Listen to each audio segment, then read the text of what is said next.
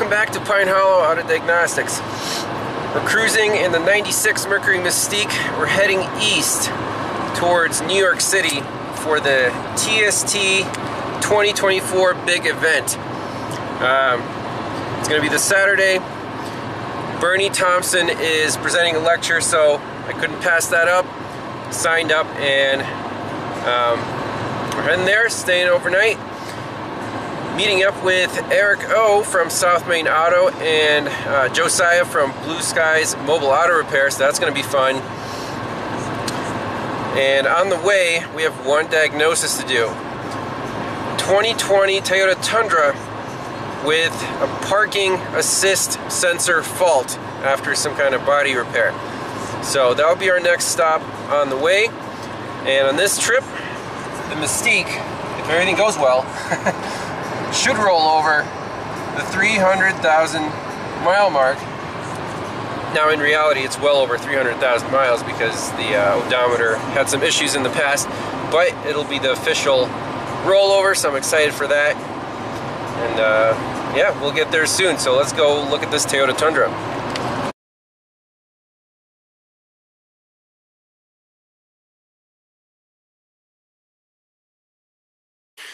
All right, here we are in Don Smith's uh, shop.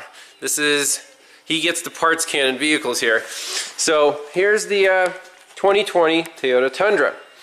So the story of this thing is, it was smashed in the rear bumper in the right rear corner, right here. Boom. The bedside is messed up, bumper is messed up, and the parking aid assist icon said, hey, this sensor is messed up. Okay, so the body shop replaced the bumper, replaced the sensor, fixed the bedside, looks really nice. And then they said we have to take it to the dealer to get it calibrated for the ADAS system, you know, lane assist. Not parking aid, the lane assist. So, you know, that's fine. Went to the dealer, they got it calibrated, and now they're saying, hey, you have a bad parking aid sensor, that system doesn't work. And the owner's like, and they told him that he needs a front right parking aid sensor. What the heck? The accident was in the back. The whole system worked fine up until the accident, and the only um, message it was setting was the right rear sensor. Now, let's see what it does on the dash. So we hop in here. We just need to turn the key on. We don't need to start the truck or anything. So we'll look on the display here. Parking assist malfunction. And we see these two are flashing red with a cross and then five icons are flashing saying malfunction. Okay? And that's repeatable. You know, if we cycle the key here, turn it off, turn it on,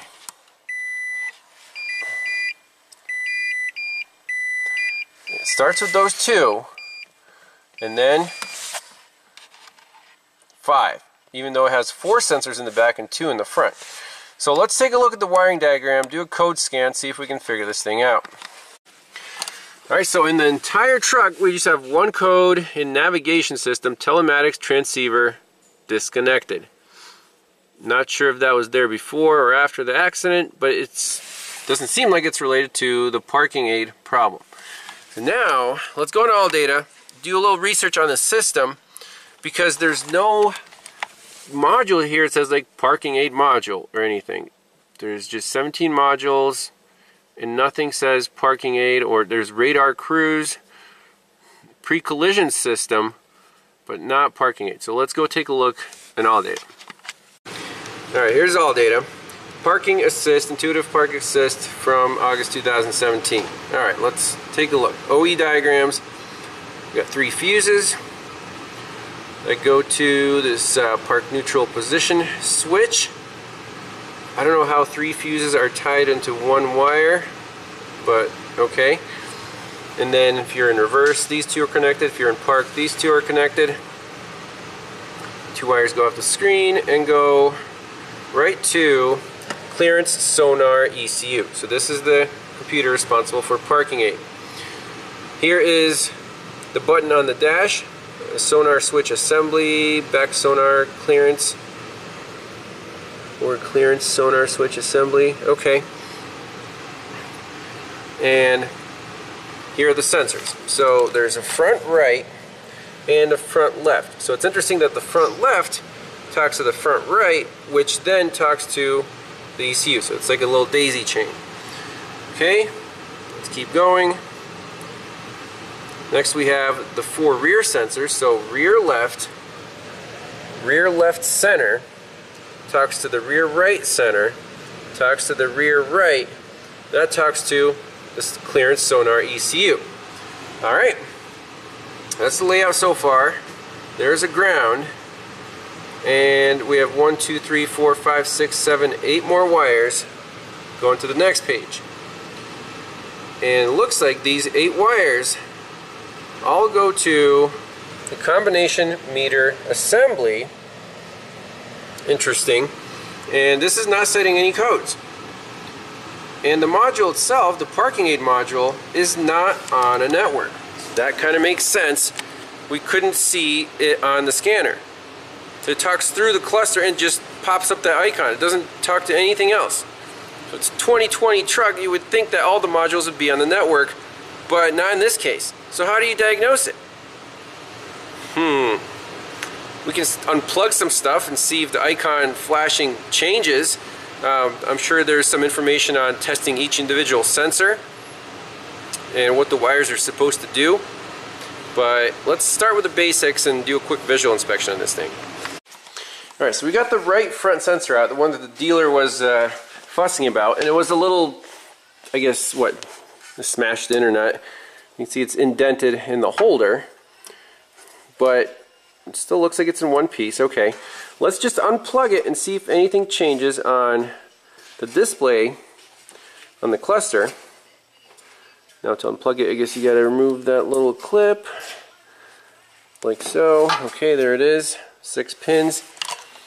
Let's see if anything changed when you first turn the key on. Does that right front start flashing? Okay, let's see. Yes, it did. So now all four of them flash, and then five. Okay, Don, so we're, we're on the right track then. So go ahead and plug that one in again.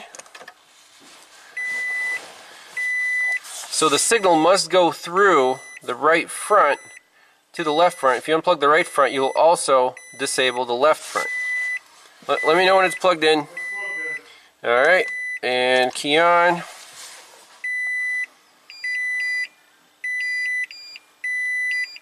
Okay, now just those two in the back, or at least the middle and the left.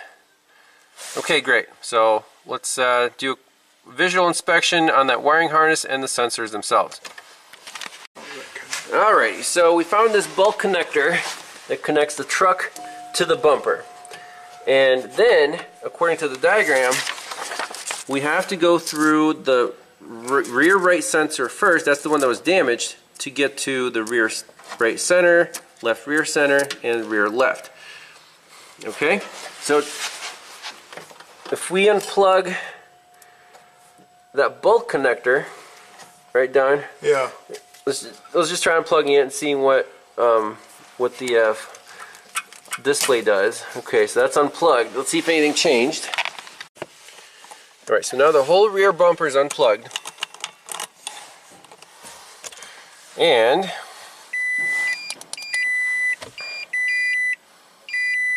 Okay, now all three in the back are saying disabled. So that's good. Now we'll plug the bulk harness in and then unplug a sensor one at a time and see where you know, there might be a break in the wire. Alright, so now let's unplug. This one's pretty easy to get to. This is the right rear center sensor. Okay. As long as that clip is friendly. There we go. I got that one. Let's see what changed. Mm-hmm. Alright, so what do we expect? Probably back to what we started with. Yep, so the very left one and the middle one are flashing. Now I wish it had an indicator for each sensor, but it only has three indicators for four sensors. So we don't know if the middle one is, you know, good or bad. Alright, so we have all the sensors out. Right rear, right center, left center, and left, left. Right? And that's right, right, like corner. So the signal has to go through here, through here, through here, and to the end of the line. We're getting the flashies for at least these two, possibly these three. So if the signal's not making it past the right rear corner one, then the, the rest of them will be disabled. So where is the issue here? So I did off camera is do a continuity check um, from here to this sensor. These three wires, they're continuous from here to this sensor. These are all continuous. And we know this sensor is online, the rear right. So could there be still be a bad sensor? One of these, can we play little Swaptronics, you know, musical chairs and see if we can get the signal further down the line. I think that's the easiest thing to do before getting too crazy with uh, ultrasonic, you know, scope sensors and whatnot. So let's uh, let's think how to logically do this. All right, so I plugged in the left corner sensor on the right corner, left center on the right center, and the right center on the left center, and the end one is unplugged. Let's see if anything changed on the scanner. Or all right, let's turn that on. And, ooh, so something did change. Now all three are not happy. Very curious. Alright, so I put the right rear corner back in its home. And, let's see. Why is it not happy with anything now? They should at least be happy with that right rear corner. Alright, so I added one sensor. The left corner I put in the left center. So now we have one, two, three, and missing on the left corner. Let's see what happens.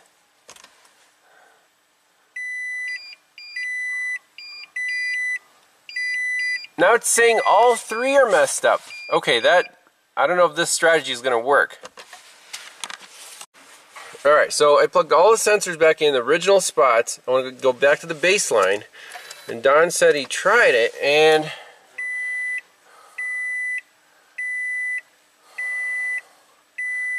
it works.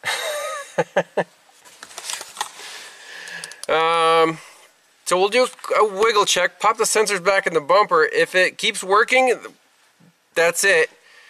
But was there a bad little connection somewhere? I don't know how to explain that. All right, so we're in reverse, key on. Don, are you standing by the right? We got two red ones and then kind of a yellow one. Oh, okay, I see Don on the on the camera. All right, move over to the left slowly. Yep, okay, that changed. And go to kind of like the middle by the hitch. Okay, well I guess the garage door is pretty close too, so it's fussing yeah, about everything. Probably. Yeah, but it's it seems to be working. We put it back in park and what about the front? What if you're in the front? The one sensor we don't have in. You should have all oh okay, you don't have it in. Okay, let's see if I so if I'm in drive. Okay, walk by that corner slowly. There it is. Don's walking in front and perfect, dude. It's working like a charm. I have no idea. And the rear's working, everything's working. I mean, take it for a test drive and tell the customer, like, give them a one month guarantee or something. it must have been a bad connection somewhere. I feel like I want to go back and wiggle some shit. Yeah, go ahead, w wiggle some shit. I'll, I'll put it in, uh, in reverse. I never feel good about these. I know. I know what you mean. Don's to do the wiggle check under the truck.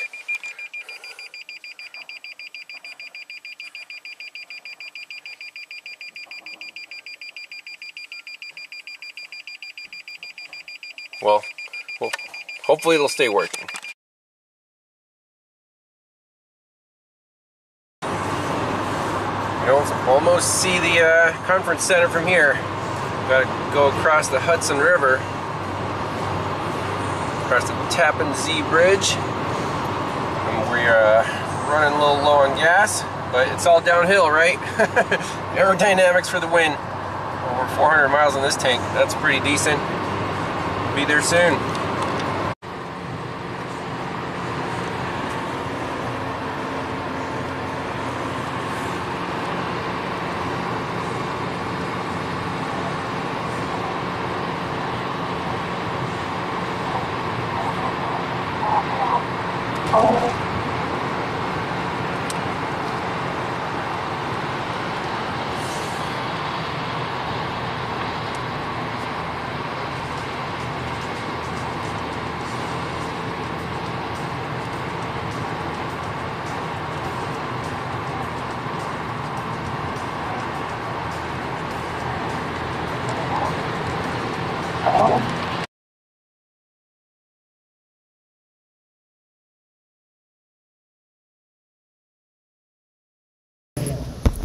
CO2 is a fully oxygenated fuel that is a complete event. The higher the CO2 comes, the more, the better the reaction is, the more complete it is. When oxygen that isn't converted is left during combustion, that tells me a lot about what happened in the cylinders we're going to see during this case study.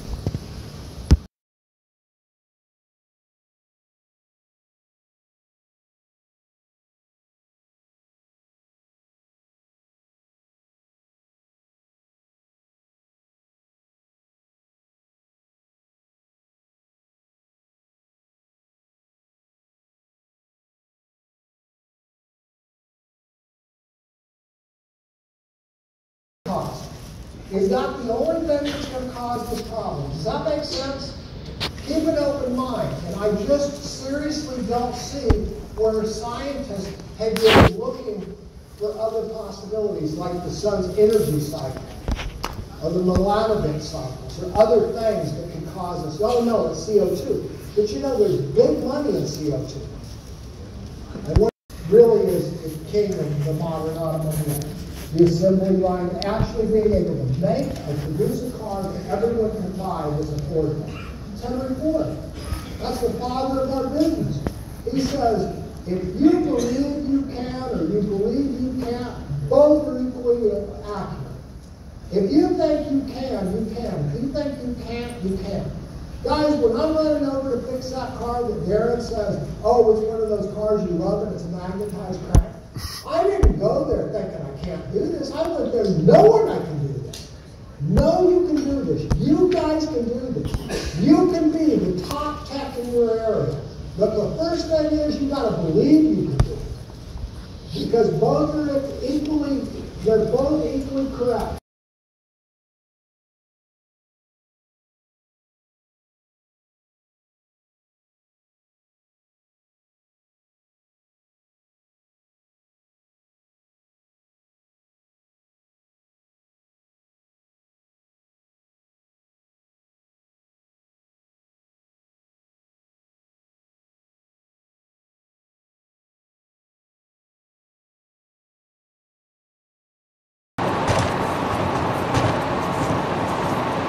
Comes.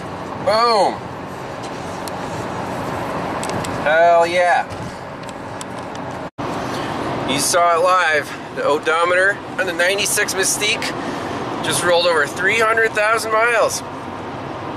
And it's running like a brand new car. I don't know how to explain it. These cars, you know, they're known as the Mercury Mistake. This must have been a good one because I mean, I don't know. It's all original. The original engine, transmission, even the CV axles. The only thing um, I have to do on the drivetrain is replace the clutch 60,000 miles ago. So, seven years ago, I bought this car for $500 cash. And I think uh, got my money's worth, huh? it's, it's, it's just a blast to drive. It's going to keep going. Just super smooth. Had a blast at the TST 2024. Um, hanging out with great people, great training.